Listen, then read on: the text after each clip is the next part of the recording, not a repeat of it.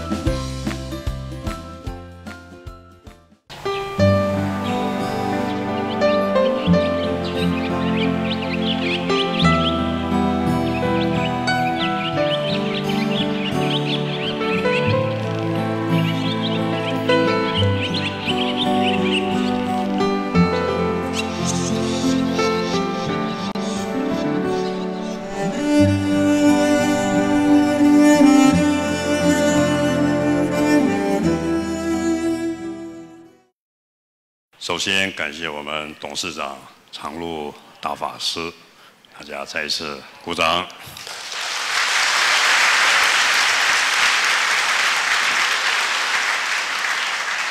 要非常感恩我们省委员的因缘，让我们有机会在这边见面。更感谢我们校长的慈悲。啊，因为我很羡慕各位，因为各位有我们长路大法师的慈悲来照顾了各位，更有一个虔诚的校长来做我们人格的模范。刚刚我们远远的车子来，我是第一次来，我们司司机菩萨说：“师傅，那个不是学校，那是寺庙。”我说应该是那一间呐，啊，所以我想，对佛教讲因缘来说，那各位能够在一个真正的教育的场所，因为所谓佛法，它是一种生命的教育，啊，让我们如何建构一个快乐的生命、正确的人生观，啊，所以我想。每一个生命的目的都要追求快乐，而不要痛苦。但是我们一定要知道快乐的因是什么，为什么会痛苦？那这个就是一个很高的智慧。所以我刚刚在外面看到学校的四个字：悲、智、慎、行。啊，这个就是教育的重点。所谓慈悲，什么叫慈悲？感情的最高点叫慈悲。啊，自私的感情会痛苦。我看各位这个年纪最喜欢谈感情了，因为年轻嘛。但是感情有快乐也跟痛苦。但是各位每天就看到学校有这么多法师特别走来走去，你要想你要问问那个法师说：“哎，你哪边出家了？啊，为什么要出家？你怎么不去谈恋爱呢？”啊，就像我经常去监狱，他们会问我说：“哎。”黑心哦，你讨个派去啊？你怎么跑去出家了？我说我有结过婚哦，我有生过小孩哦。我过去的太太哦，像影星一样的漂亮哦。问题是我过得很苦哦。啊，并不是说感情不快乐，而是那一种是一种束缚，束缚。我爱你，但你只能爱我。啊，你不你不爱我，何必死？奇怪。怎么会这么痛苦呢？所以我结婚七年，我就自己买了好几个鱼缸，天天看鱼，好羡慕啊！啊，鱼多自由啊！但是我现在被关在鱼缸里面了，啊，因为我以为那是快乐，结果我发觉哇，金价港口啊！啊，我想快乐是一种自由。后来我又生了一个小孩子，哇，更痛苦啊！我想各位在这一点，我们农历七月份刚过，在佛教里面叫孝顺月，啊，是在纪念暮年，神通第一的暮年，他妈妈虽然家里很有钱，但是不懂得因果道理啊，后来死了以后做恶鬼道，那做了恶鬼道以后，暮年正的神通，出家七天就有神通，以这个神通去观察，哇，他妈妈居然在恶鬼道，结果他就赶快拿一碗饭，以他的神通拨饭供养他的妈妈。结果他的妈妈嘴巴一吐啊，一打开变成吐火，所有的饭菜变火炭。所以木莲那个时候很急啊，神通神通哎，他是第一，也没办法渡他妈妈，赶快回来找佛陀。然后佛陀就跟木莲说：“凭你一个阿罗汉功德不够了，你要在七月十五日，就是佛的，因为我们出家人三个月要精进的修行，然后来供养所有的这些阿罗汉，包括供养佛陀，你妈妈才可以离开恶鬼道的苦。”所以暮年就这样去做，后来他妈妈升天了。那所以我们就把农历七月份当做来跟我念一下孝顺月啊。那每这个月我们就在讲孝顺的精神，由孝顺变成普度。我想各位的爸爸妈妈农历七月份一定会拜拜门口啊啊，住大楼会拜拜门口。那为什么要这样做呢？因为暮年有妈妈，那是人呐，生命的轮回啊。几百万世，各位相不相信？因为你是慈明高中的，你要相信。因为慈明高中是佛教，佛教的基本就是相信轮回，人有过去世、现在是来世啊。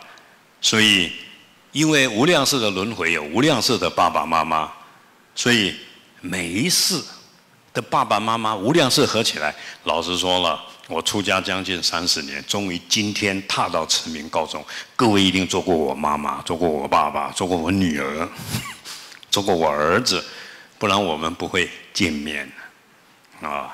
所以各位听过一句话叫“五百世才能够同一艘船，一千世的姻缘才能够同一桌坐”。所以各位，你做你的同学三年，坐在你隔壁，你等下赶快握的手，那时候赶快握一下，妈。我爱你，啊，对不对？就是如此了。终于有机会了，我爱你很久了。我今天跟你说，我讲的那个爱是爸爸妈妈的爱，不是男女的爱。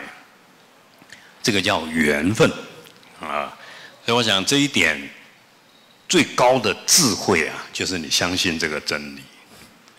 所以刚刚我们董事长跟我们讲，哇，各位外面有一尊文殊菩萨，代表智慧，手上拿着各种的法器，包括奶瓶、iPhone，是要去帮助别人。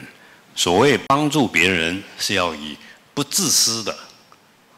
读书最高的目的不是拿第一名，学习服务别人的机会，增加自己的被利用价值，啊。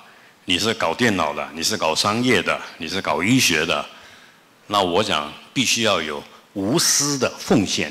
所以叫文殊菩萨说：“我不是为了赚钱而来读书的，我不是为了成功而来读书的，我是要为了增加自己被社会国家的利用价值而来读书的。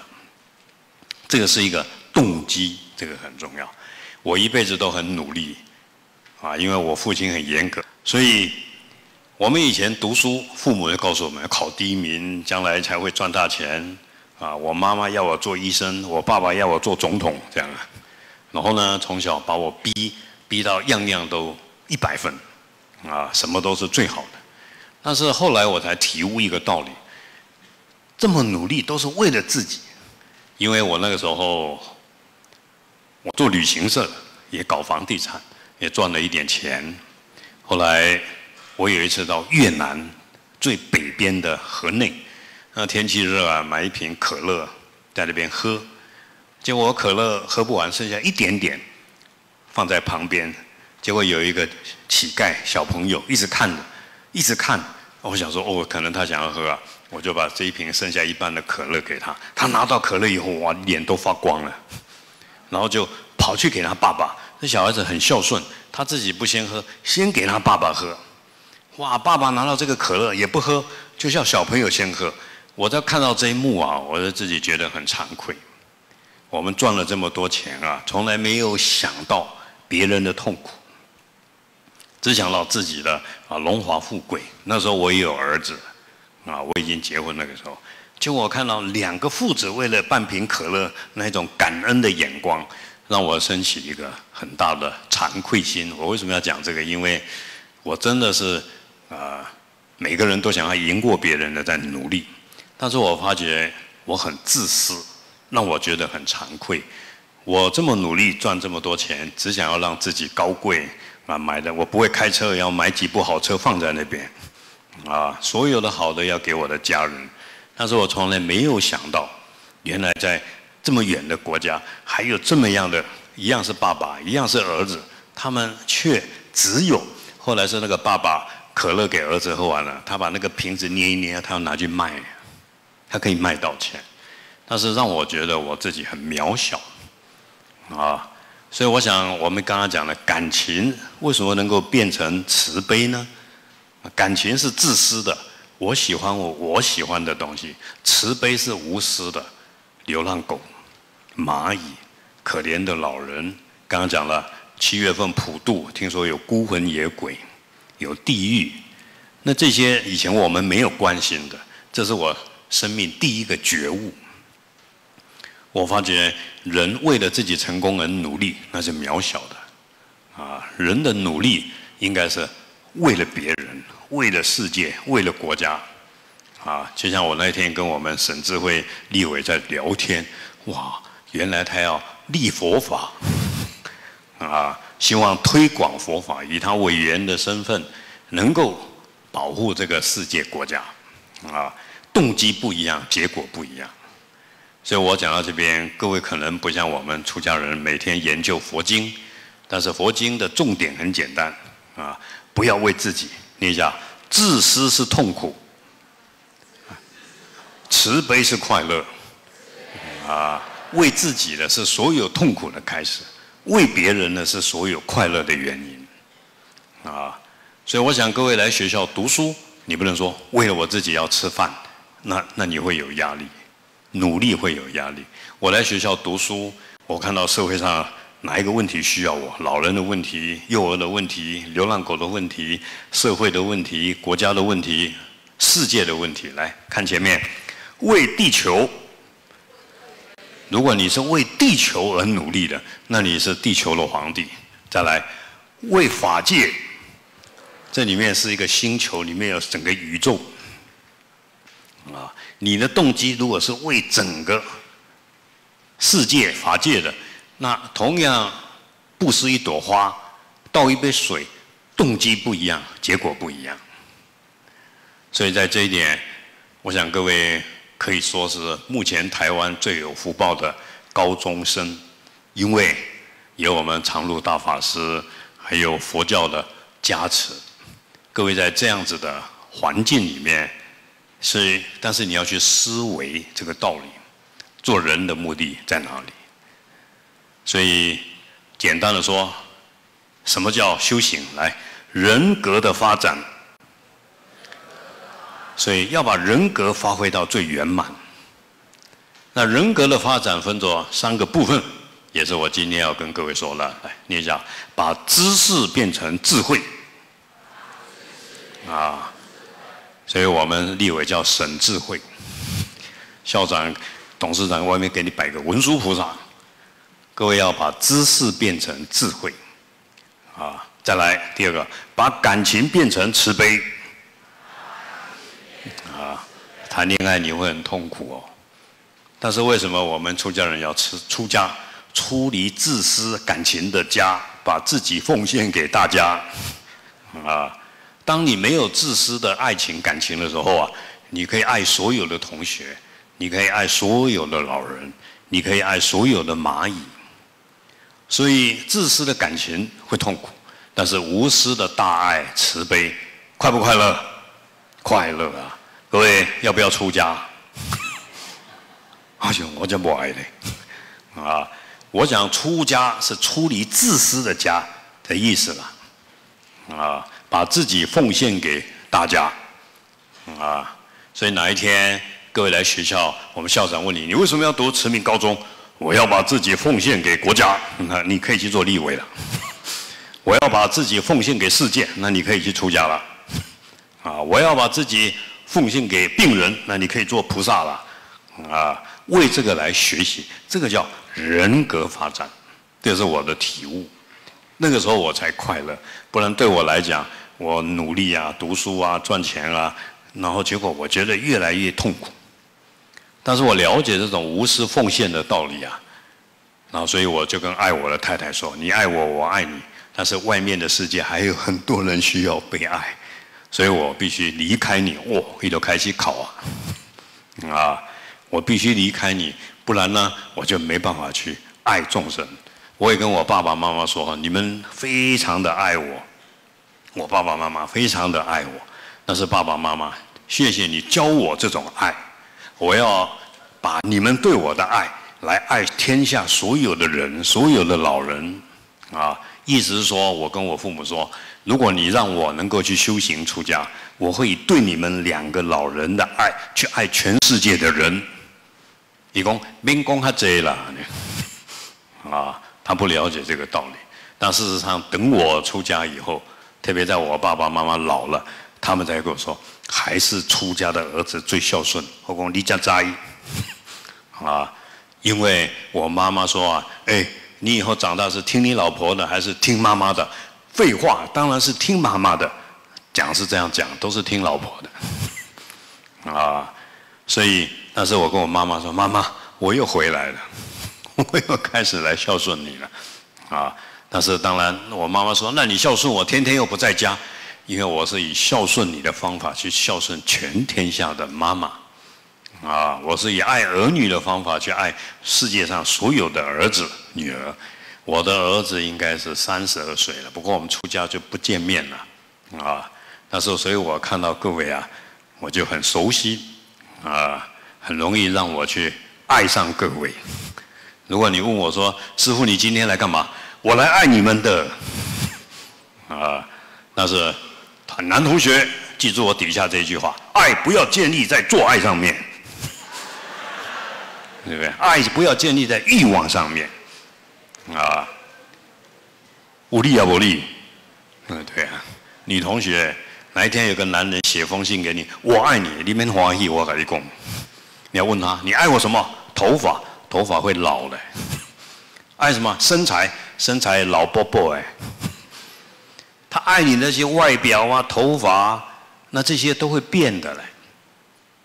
如果把爱建立在肉体上面、建立在外表上面、建立在金钱上面，那会变的。千万不要被利用。那个男生说：“你眼睛好美哦。”你要说：“你好好色啊，好美。” 他是因为色欲才说你皮肤好美哦，对不对？他心里想的是你胸部更美哦。男人，男人，这是不是真的呀？啊，大部分人都把爱爱爱建立在欲望的满足、感情的寄托，那是真爱还假爱？到时候就砍来砍去，我跟你讲，告来告去。所以老实说了，我爸爸妈妈两个人感情并不好，但是两个都很优秀。后来等我出了社会，我还发觉，哇！我跟我妈妈说，我们家算不错了，妈妈你都没有被爸爸打过。啊，这个一男一女要待在一起待一辈子，那真的是考验呐！啊，我说爸爸都没有打过你，只有骂你而已，还不错，还给你很多钱，啊，卖什么呢？因为这个世间爱情的这种东西摆不平的，所以佛陀为什么要提出慈悲这两个字，才能够超越世间的爱情的痛苦？啊，知识也是分别的，知识高，知识低，我高我低，聪明笨，但是智慧是超越分别的。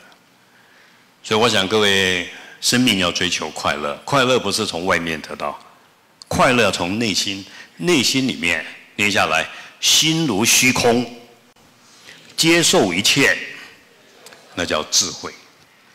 啊，好的、不好的、快乐的、不快乐的，我都可以接受，没有分别，那叫快乐。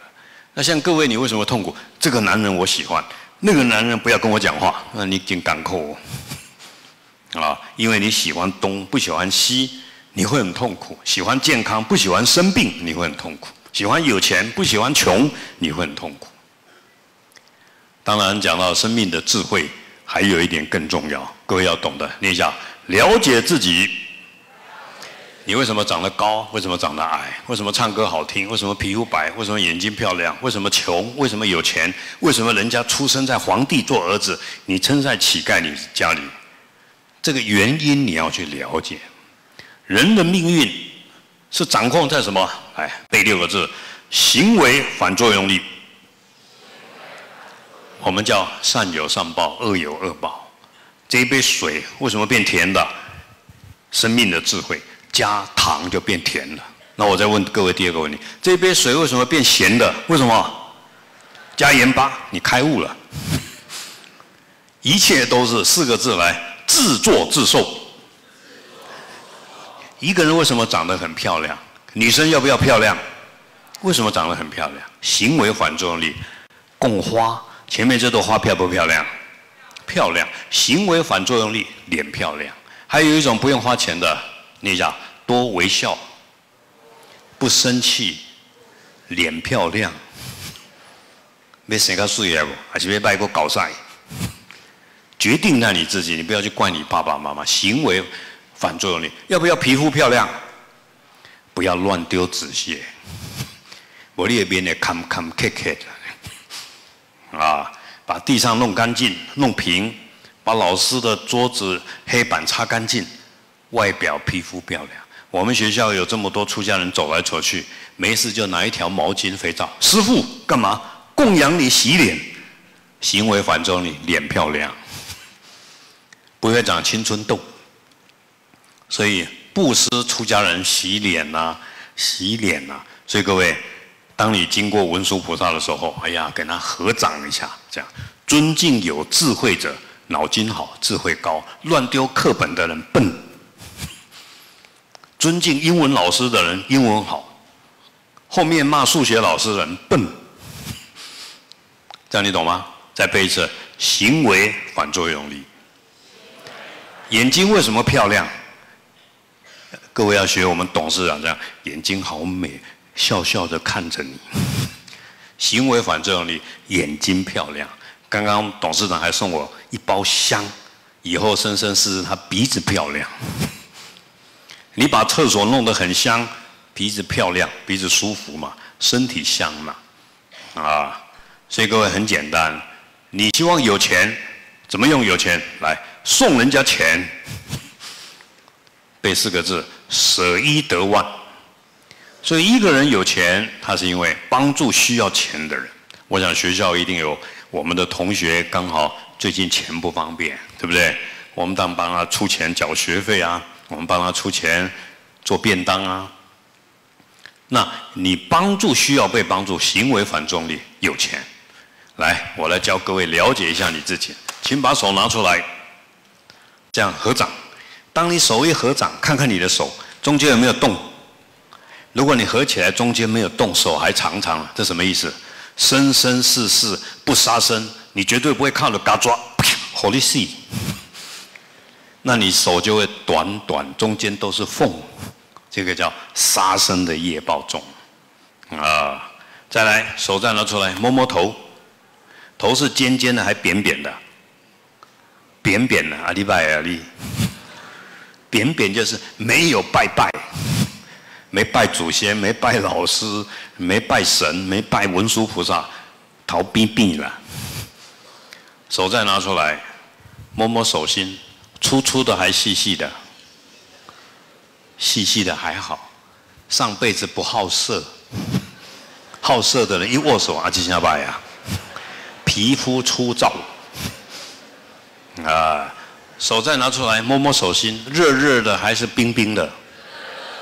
好在，好在，因为你读慈明高中，为什么热热的？孝顺父母。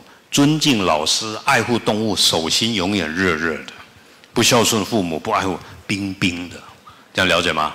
然后再看看手手背，血筋骨头多不多？啊，这像你个拜啊！血筋骨头多的人贪钱，会贪污，爱拔掉。所以我们在请会计都看看手，哎，这边比赛做会计啊，贪你的。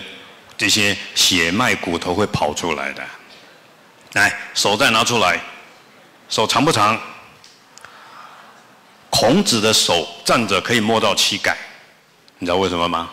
这个手永远写很好的文字，去帮助别人手长。你到厕所去写某人王八蛋阿里拜啊，手短短。各位，你喜欢脚长长还是脚短短？为什么脚会长？尊敬老师，上课专心，腿长。不尊敬老师，谁谁念？A 郎高兴，腿短短。所以我想各位，人的外表命运决定在你的行为，行为来自你的心态。眼睛好不好看？为什么人家会双眼皮？你知道吗？点灯的时候啊，供养中间那一条线，双眼皮。点灯的时候加油啊，眼珠子黑又大。啊，点灯的时候那个灯座比较大，你的印你的眼睛像印度人这么大。因为光明嘛，嗯，所以一个人为什么皮肤黑？人家点灯，那个不融化，皮肤黑。所以为什么皮肤白？让黑暗的地方亮起来，知道吗？学校的日光灯坏了，主动修理，让别人看起来亮，看书很清楚，眼睛好。所以来，各位要不要唱歌好听啊？所以来。为了声音好，念一下：不骂人，多讲好话，唱歌好听。啊，你打刚都在讲美丽的烧香，我跟你讲。啊，再来，不骗人，口才好。啊，不背后说是非，讲话人家喜欢听。我最在乎了，我在讲话，如果有人在睡觉啊，我就很难过。我讲话没人喜欢听，所以我师父常跟我说啊，他讲一个比喻哦，各位注意听哦。桌子上有一堆大便，要不要吃？那我可能要吃呢。那我师父说，如果你把别人的缺点透过你的嘴巴讲出来，那就在吃大便。没假赛我啊，千万不要只讲别人的优点，好不好啊？那你这样以后。讲话人家喜欢听，唱歌人家喜欢听，啊，再来第四个来，不讲黄色笑话，讲话清清楚楚。有些人公归刚在那公下面，听不懂。最后一个字背一下，舌头要绑安全带。哎，要开始练习吧，啊，我们所谓修行啊。就是修正行为，身体的行为、语言的行为、心态，这个叫修行。以董事长为模范，修行，了解吗？以老师为模范，修行；以文殊菩萨为模范，修行。各位现在以谁为模范？唱歌跳舞的为模范，金下拜呀！啊，各位现在信仰什么？睡觉、手机这样，每天在忙这个。那你一定要调整你自己，所以我想你喜欢住大房子，哇！像老师说，我们成明高中那天，我听立伟说，以前地震啊，所以那立委帮忙，居士出钱，终于又把学校盖起来。那同学们，那个时候你的爸爸妈妈、阿公出一百块，帮助慈明高中，帮助寺庙盖起来，他生生世世会不会住高楼大厦？爸爸妈妈留给他三栋房子，人家种的善因，人家种的善因。听我讲一个故事啊，在佛陀的时代啊，有一次佛陀出来讲经说法，很多很多人。那个时候，当地的国王啊，这些长老啊，都跑到前面要挤着去供养佛陀。那个时候，最底下有一个小乞丐，他什么钱都没有，但是呢，他手上就有四颗豆子啊，放口袋的。他就把这个四个豆子拿起来，哎呀，愿佛伟大的佛陀啊，接受我供养，就把这个豆子这样撒出去。结果佛陀有神通呢，啊，佛陀赶快